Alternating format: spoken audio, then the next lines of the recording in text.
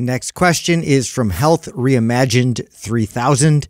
If you're going to include running in your regimen, is it better to run before or after lifting? Yeah, Whichever one you want to be good at, do it. first. Yeah, that's the bottom line. You know that principle applies to lifting Priority. too. Yeah, what exercise you want to get strongest at, what body part you want to develop the most, what skill you want to do develop the most. You know, if your goal is endurance and stamina in running, you should run before you lift. If your goal is building muscle and strength, then you should do that before you run. And there's studies on this that show and that someone's going to be asking, well, what if I want to do both? Well, it's the one you care about most. Yeah. Something's or, or maybe alternate. Yeah. Oh yeah. That's yeah. that's fair. You know what I'm saying? But but I, I, think that everybody there's always something that's a little more important, right? Like I'm, I'm more focused on building my body than I am being really good at running. But I, I want to run really good too. So then that's going to go after I work out. Or you're like I run, that's what I'm more into, but I also want to be strong and lift. Well, then you do that first. Right? Yeah, it's, mm-hmm. and it's true. Again, this is true for all programming. So if someone's like, oh man, you know, uh, when I work, I work out my legs and my lower body, but my my butt doesn't grow or my hamstrings don't grow. If you train those first and then go into the rest of your workout you'll notice better gains in that, right? Uh, it's true for for the whole body. That's that. What is that? Uh, there's a, a, term for it where your body adapts most to the thing you do. I guess uh, earlier in the workout, and it's definitely true for running. Now, I do want to say that that lifting and running can compete with each other with the signals that they send. So that means that if you do both a lot, you'll get some of both, but not a lot of either. So, and that's okay for a lot of people. They want to be well balanced. They want to have stamina and endurance. They also want to have strength and muscle.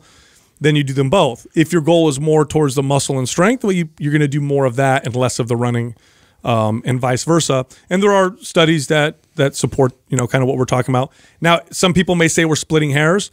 I'd say probably, but if you do this all the time, you know, splitting hair starts to turn into a bigger impact, right? So mm-hmm. if you do it once or twice or whatever, not that big of a deal. But if this is how you always train, then the order of operation starts to make uh, a bigger difference. I would also say there's a there's a little bit of uh, individual variance here too. Like sometimes some people like Uh, they swear by like running a mile before they start their workout. It just energizes them and gets them ramped up. I guess if it's easy for you, right? Yeah. So and so so some people will swear by it kind of priming them for getting ready to do a lift, and they find more energy. Other people will be like, man, every time I run before I work out, I just my my lifts suffer. I'm just not as strong or what right. that. Which is, I think most people are like that, but there are exceptions to the rule, and so some of this is a little bit on your individual preference. Do yep. you do you feel better? You know, do you do you when you lift first? Does it does it uh, really hinder your running to where you don't enjoy your run at all? So you have to run first, or vice versa? Like, I mean, a little bit that has to come into play. Well, also. I like challenging anybody in terms of even if like running is your priority to focus specifically on strength for a phase.